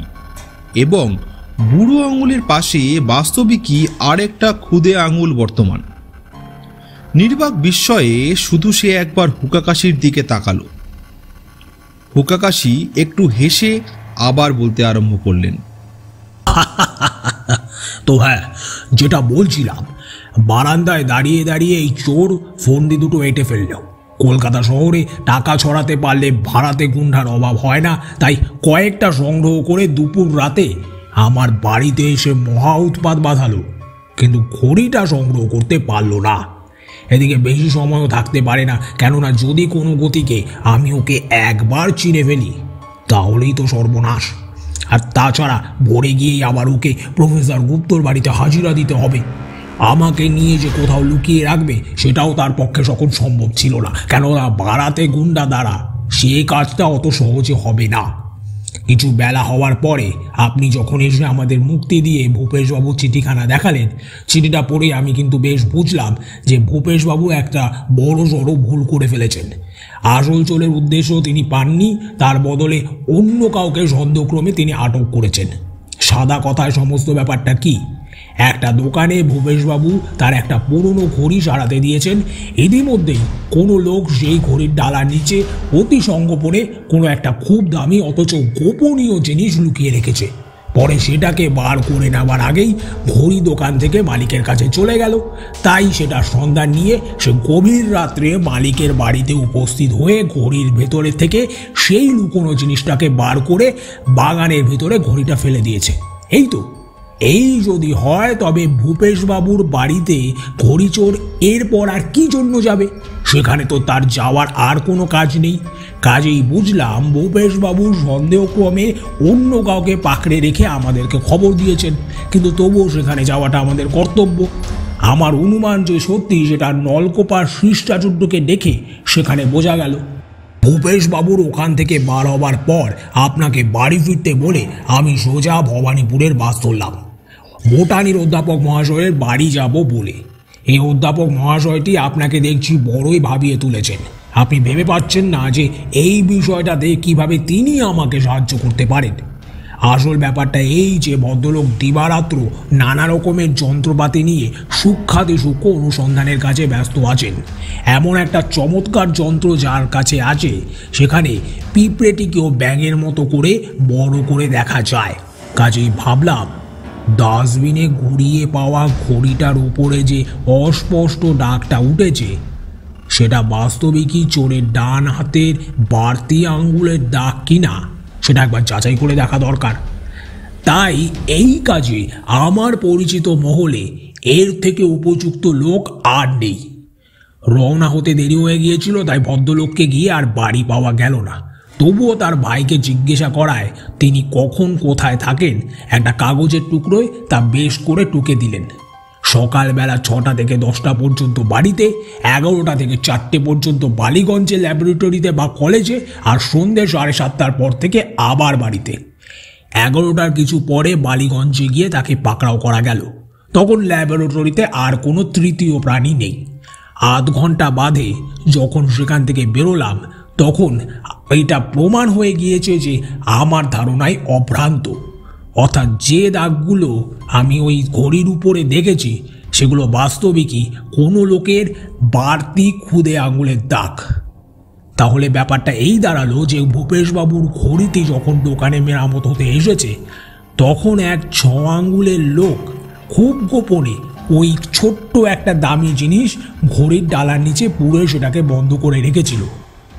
কিন্তু কেন? এই কেনর উত্তর আমি পরে দিচ্ছি। আচ্ছা একটা কথা আপনার মনে যাচ্ছে না? ঘড়ির দোকানে ঢুকে, ঘড়ির ডালার নিচে সবার অলক্ষ্যে কোনো একটা জিনিস লুকিয়ে রাখার সুযোগ একটা লোক কখন পায়? নিতান্ত অপরিচিত হলে কি এমন সুযোগ পাওয়া যায়? অপরিচিত লোককে কোনো ব্যক্তি তার দোকানে নিজের ইচ্ছে মতো মেরামতের ঘড়ি কেন নাড়াচাড়া করতে দেবে? বলুন তো। কাজেই ছ আঙ্গুলের লোকটা নিশ্চয়ই ঘড়িওয়ালা সুপরিচিত। কোনো যুক্তিতর্কেই কি এটাকে খণ্ডন করা যায়? হ্যাঁ সেরকমই তো মনে হয়।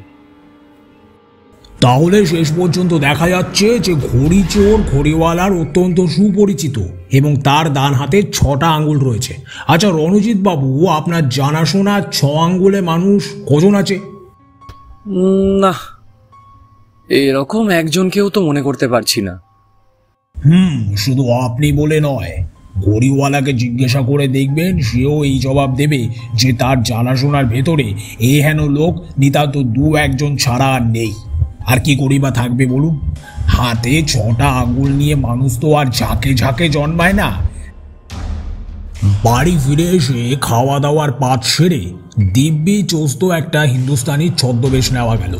ময়লা কাপড়ের উপরে আন করা মোরজাই রেড়ির তেলে ভাজানো রাম নাগরা, আর গলায় হাতে ঘুমসি থাকা কিছুই বাদ দিলাম না। আয়নাতে নিজের চেহারা দেখে নিজেই চমকে যাই আর কি। কে বলে মুঙ্গের জেলায় আমার মুলুক নয় হ্যাঁ? কপালে সিঁদুরের ফোঁটা দিয়ে নিলাম যেন মনে হচ্ছে এই সবে কালীঘাট থেকে মায়ের পায়ে পুজো দিয়ে ফিরলাম।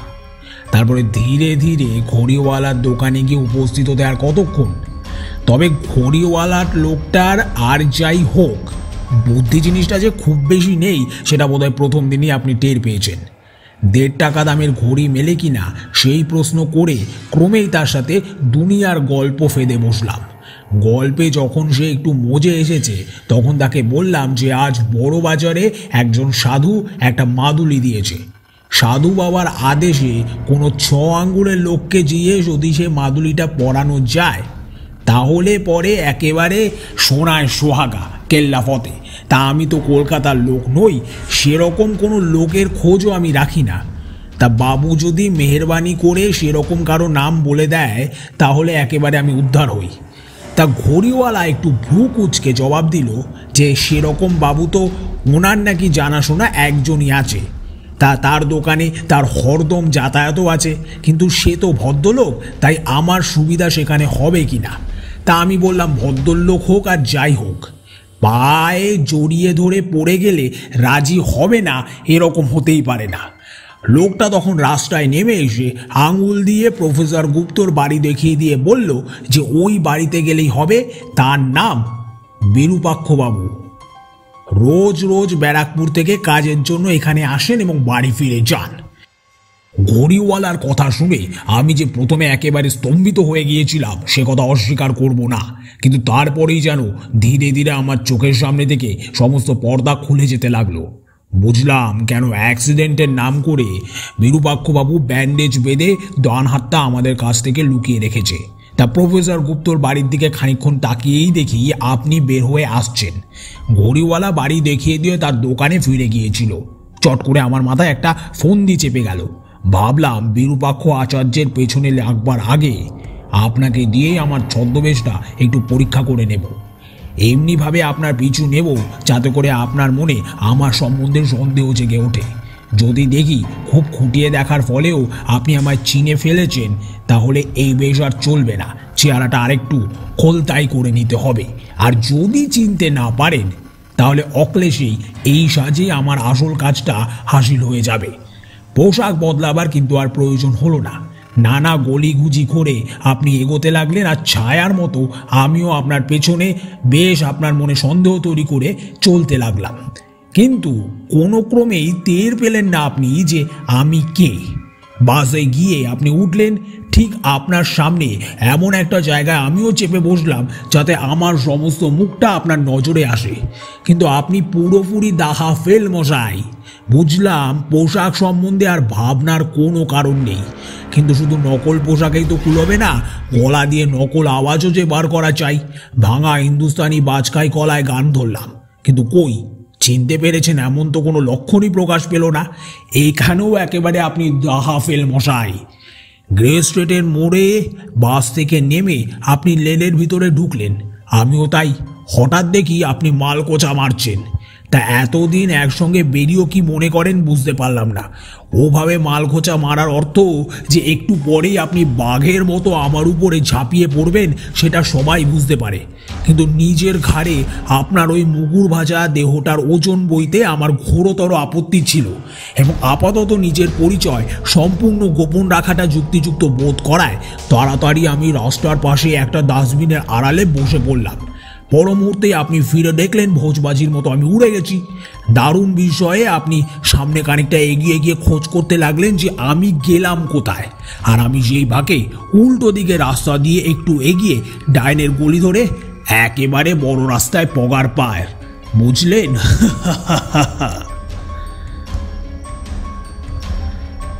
এইবারে বিরূপাক্ষ আচার্যের সঙ্গে বোঝাপড়া। সবার আগে দেখা দরকার কী জন্য ও ডান হাতটাকে কাঠের ফ্রেমে ঢেকে তার উপরে ব্যান্ডেজ বেঁধেছে। অর্থাৎ সত্যি সত্যি ওর হাতটা জখম হয়েছে কিনা।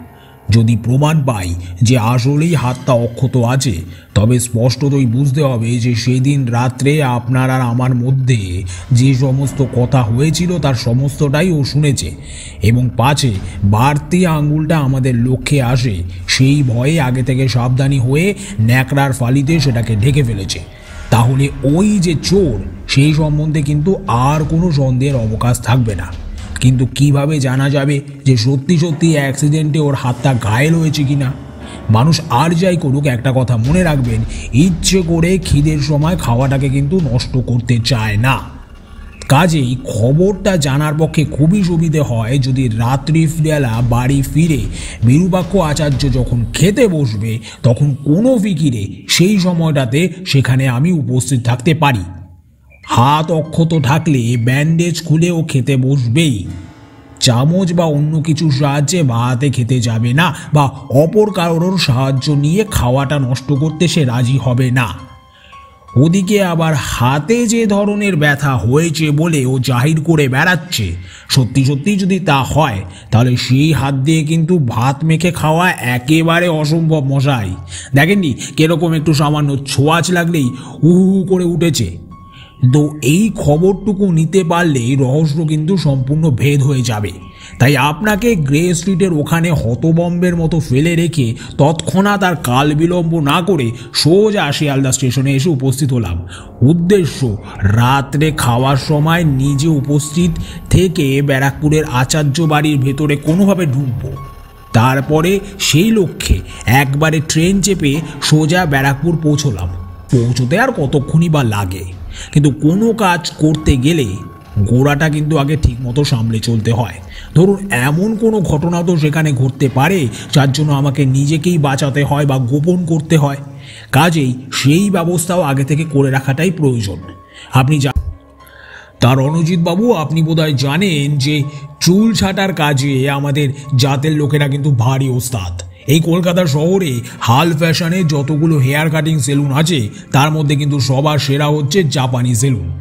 বড় বড় সাহেব শুভরা, সেখানকার খদ্দের। ব্যারাকপুরের ওপরেই একটা ক্যান্টনমেন্ট রয়েছে, এটা আপনাদের জানা। বিস্তর সাহেব শুভ সেখানে বসবাস, তাই সেখানেও এক জাপানি গিয়ে চুল ছাটার সেলুন খুলেছে। তা এই লোকটি আমায় খুবই ভক্তি শ্রদ্ধা করে এবং স্বজাতি বলে আমার সাথে বেশ চেনা জানাও রয়েছে। স্টেশন থেকে সেলুনটা খুব একটা দূরেও নয়। কী জন্য এসেছি সেটা খুলে না বললেও একটু আভাস দিয়ে তাকে জানিয়ে রাখলুম যেন দুপুর রাত অবধি সে একটু সজাগই থাকে। কেননা যে কোনো মুহূর্তে হয়তো আমি পলাতক হয়ে তার সেলুনে এসে লুকোতে পারি। তারপর একটু খোঁজ খবর নিয়ে সেই হিন্দুস্তানি বেশেই বিরূপাক্ষ আচার্যের বাড়িতে গিয়ে উপস্থিত হলাম। আপনি চমকাবেন না বিরূপাক্ষ বাবু পর পর তিন তিনটে মতলব আমার একেবারে ঠাউরানো ছিল। একটা না হলে আরেকটা ফিকিরে আপনার খাবার ঘরে আমি ঢুকতামই ঢুকতাম তা পাড়ায় খোঁজ নিয়ে আগেই জেনেছিলাম বাড়ির চাকরটা হিন্দুস্তানি। দেশওয়ালি ভাইকে তুষ্ট করার ওষুধটা দৈবক্রমেই আমার সঙ্গে ছিল। কিন্তু সেটা কি জানেন? সামান্য খৈনি পাতা মশাই। কিন্তু সামান্য সামান্য ব্যাপারে অসাবধানতাও মাঝে মাঝে মানুষকে কিন্তু বড়ই মুশকিলে ফেলে। তা কর্তার পকেটে হাত দিয়ে দেখি বোটানির অধ্যাপক কখন কোথায় থাকেন, সেই খবরটা যে কাগজটাতে লেখা ছিল অন্য মনস্কভাবে সেটাকে কর্তার পকেটেই রেখে দিয়েছি, ফেলতে ভুলে গেছি। তা সেটা সঙ্গে সঙ্গে ফেলে দিয়ে আপনার চাকরকে বাইরে ডেকে নিয়ে এলাম। ভগবান ভারী প্রসন্ন ছিলেন বোধহয় আমার উপরে। তার লোকটাকে খৈনি দিয়ে একটু আপ্যায়িত করতেই তারপরে চাকরির কথা পারতে সে নিজে থেকেই বলল যে, তাদের বাড়ির হেসেলের ভার বইতে আমি রাজি আছি কিনা মনে হলো হাতে বুঝি স্বর্গই মিলে গেল। জানালাম, খুব রাজি। একটু বাদেই সে আমাকে সঙ্গে করে তার মুনিবের কাছে নিয়ে গেল। সেখানে গিয়ে যা দেখলাম তাতে আর এক মুহূর্ত না থেকে সোজা কলকাতায় চলে এলেও কোনো ক্ষতি হতো না। আমার যা প্রয়োজন ছিল সেটা সেই মুহূর্তেই সিদ্ধ হয়ে গিয়েছিল। কেন? এই আচার্য মশাই সেখানে দাঁড়িয়ে একটা ইলেকট্রিক ইস্ত্রির সাহায্যে বিপুল জাপে একটা জামা ইস্ত্রি করছিলেন, সেটাও তার ডান হাত দিয়ে। আর বুড়ো আঙ্গুলের পাশে খুদে আঙুলটাও সেখানে স্বমহিমাই বিরাজ করছিল। যে হাতে ওরকম চোট লেগেছে, সে হাত দিয়ে কেউ ওই রকমভাবে একটা ইলেকট্রিক ইস্ত্রি ব্যবহার করতে পারে? বুঝলাম সবই ফাঁকি। বাড়ির চাকর তার মুনিবকে বলেছিল, আমি কলকাতা থেকে এসেছি। কিন্তু কলকাতা কথাটা না বলাই ভালো মনে করে একটু শুধরে নিয়ে বললাম, বালিগঞ্জে আমার বাস এবং সেখানে এক গণ্যমান্য ভদ্রলোকের নাম করলে হয়তো আমার কথাটায় আরও বিশ্বাস হবে। সেটা ভেবে আমি আরও জানালাম যে, মহিনবাবুর বাড়িতে আমি আগে কাজ করতাম। মহিনবাবুকে এই বিরূপাক্ষ আচার্যের খুবই চেনার কথা, কেননা প্রফেসর গুপ্তর কাছে কার্যসূত্রে অনেক সময় তিনি আসা যাওয়া করতেন। কোনো এক অশিক্ষিত হিন্দুস্তানির মুখে এরকম একজন বিদ্যান লোকের নাম শুনলে সবাই তার কথা বিশ্বাস করবেই করবে। তা আমার যা জানতে আসা সেটা তো আগেই জানা হয়ে গিয়েছে। তবু আচার্য বাড়ির হেসেলে ঢুকে কর্তার খাওয়ার সময়টাতে উপস্থিত থাকলাম।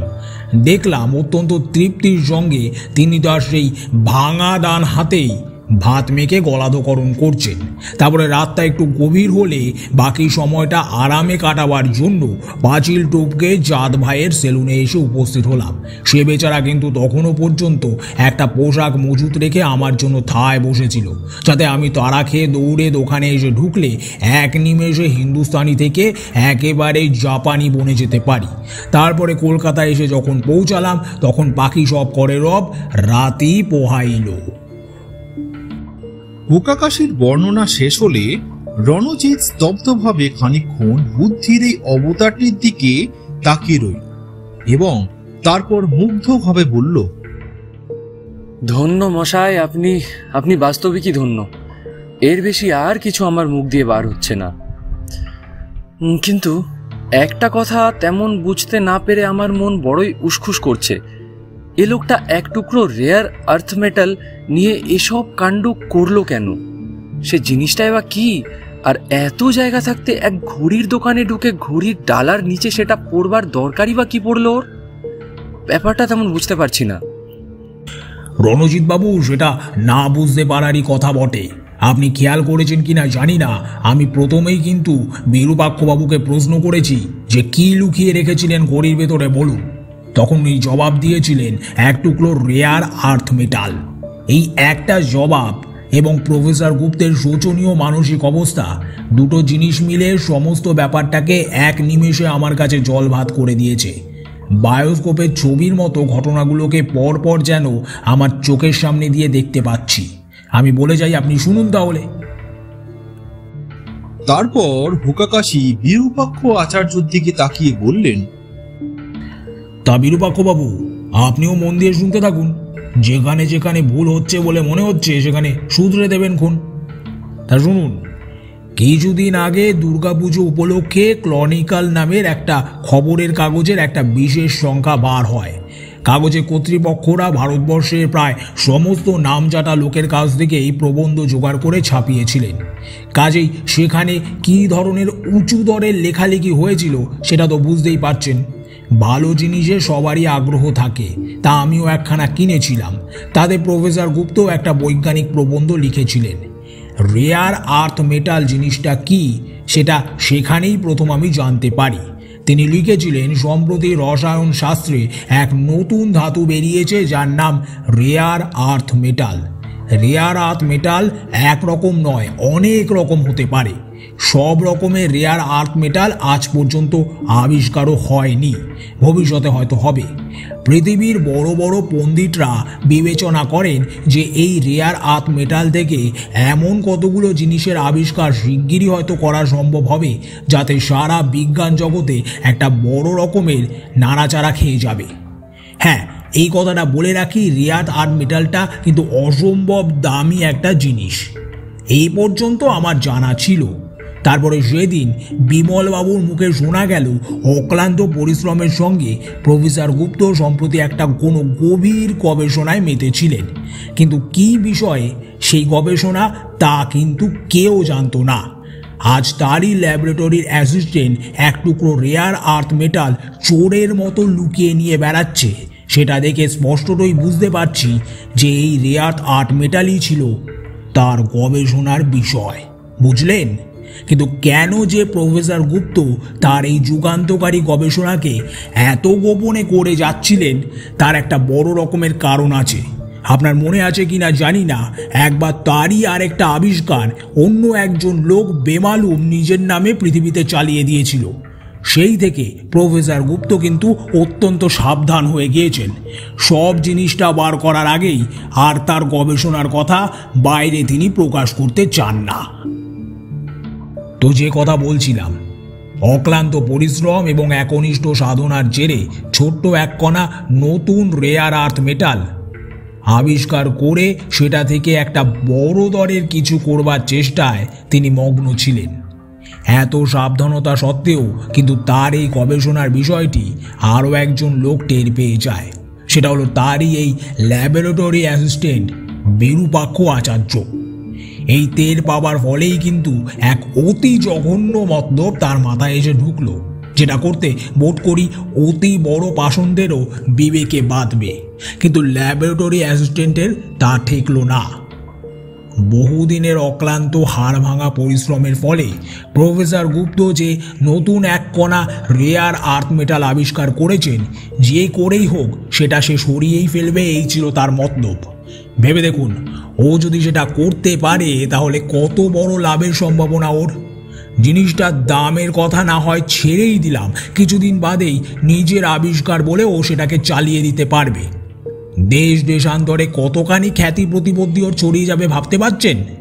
এমনকি বিজ্ঞানের ইতিহাসে তার নামটাও চিরকালের মতো অমর হয়ে যাওয়াটাও খুব একটা বিচিত্র নয়।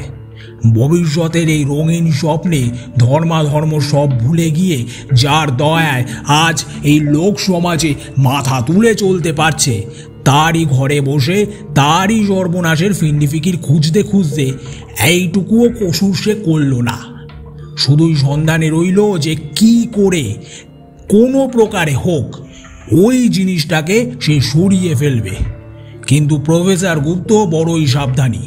চা খেতে উপরে যেতে হলে পর্যন্ত নিজের ঘরের দরজাটিকে ভালো করে বন্ধ করে তবেই যান। সুযোগ কিন্তু আর মেলে না।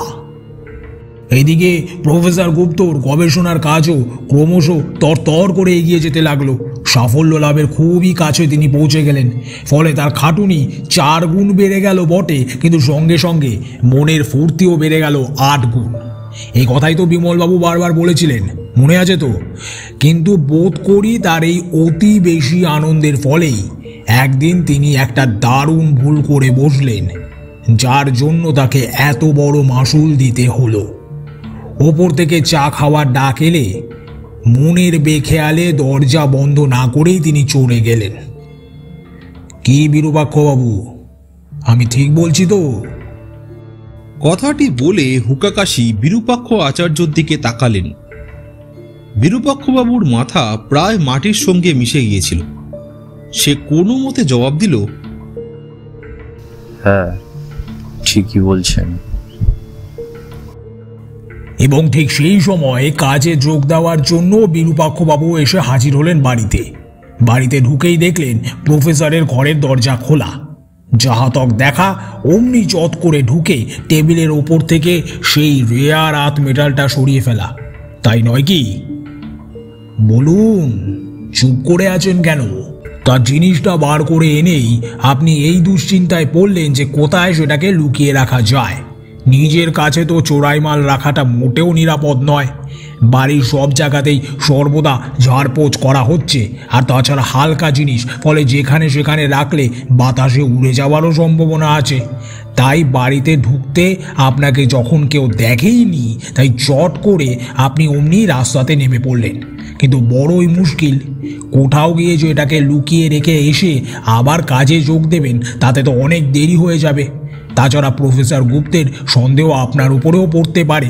তাছাড়া এমন একটা জিনিস আপনি পরের কাছে নিয়ে বা রাখবেন কি করে? বাড়িও আপনার কলকাতাতে নয়।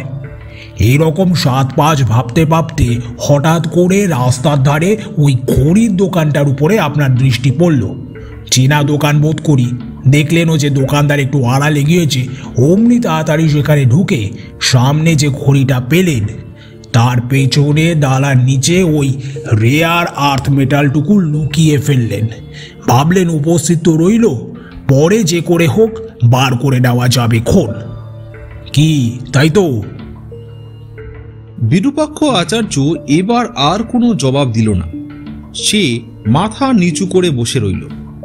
হুকাকাশি কিন্তু সেইভাবেই বলে চললেন ঘড়ির দোকান থেকে প্রফেসর গুপ্তর বাড়ি ফিরেই আপনি ভেবেছিলেন যে দেখবেন তিনি চা খেয়ে এসে নিচে ওই রেয়ার আর্থ মেটালটুকু নেই দেখে সমস্ত ল্যাবরেটরিময় হইচই করে সেটা খুঁজতে লেগে গেছেন কিন্তু তা নয়। আপনার এই চণ্ডাল পিসাচের মতো ব্যবহার তার মনে যে কি দারুণ আঘাত আনলো। ঘড়ির দোকান থেকে প্রফেসর গুপ্তর বাড়ি ফিরেই আপনি ভেবেছিলেন দেখবেন যে তিনি চা খেয়ে নিচে এসে সেই মেটালটুকু নেই দেখে সমস্ত ল্যাবরেটরিময় হইচই করে সেটা খুঁজতে লেগে গেছেন। কিন্তু তা হলো না। আপনার এই ধূর্ত ব্যবহারে তার মনে যে কি দারুণ আঘাত লাগল, কতখানি আশা ভঙ্গ হলো তার, সেটা বোঝার ক্ষমতা বোধ হয় আপনার মতো নিজ পাষণ্ড লোকের থাকা সম্ভব নয়। দু চার দিনের ভেতরেই যে আবিষ্কারের সমস্ত বিজ্ঞান জগৎ তোলপাড় হয়ে উঠবে, এক মুহূর্তেই তার কোরা পুরো ভূমিষ্যাত হয়ে গিয়েছে দেখে যে ভীষণ শখ তার মনে রাখল। এই বৃদ্ধ বয়সে সেটা তিনি আর সহ্য করতে পারলেন না। জ্ঞানহারা হয়ে মাটিতে লুটিয়ে পড়লেন। আপনি পাষণ্ড আপনার এই জঘন্য কাজে দেশ তার এত বড় প্রিয়। একটা সন্তানকে হারাতে বসেছিল। কিন্তু সেই জন্য এতটুকু অনুতাপ আপনার হয়েছে বলে আমার মনে হয় না। আমাকে শুদ্ধ প্রতারণা করবার উদ্দেশ্যে একটু আগে বলেছিলেন, প্রফেসর গুপ্তের এই রহস্যোদ্ধারে আপনি আমাকে নাকি সাহায্য করতে প্রস্তুত। তাই বলেছিলাম। তাই বলেছিলাম, আপনার উপযুক্ত শাস্তি ওই ওই বেতের বাড়ি। কথাটি বলে হুকাকাশি আবারও দেওয়ালে টাঙানো সেই বেতটির দিকে নির্দেশ করলেন। ভাবুক লোকেরা অনেক সময় বলে থাকেন যে পৃথিবীটা নাকি জাদুঘরের মতো। বোধহয় তারা খুব একটা ভুল বলেন না।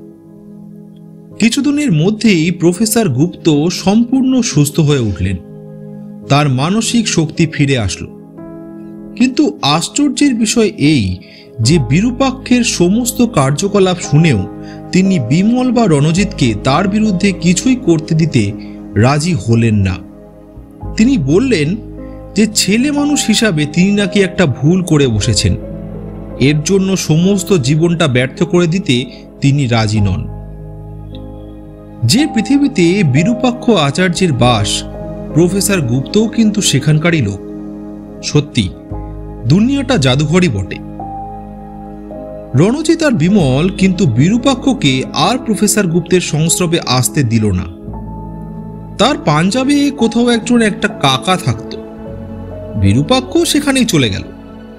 আজ পর্যন্ত তাকে আর বাংলাদেশে পা রাখতে দেখা যায়নি।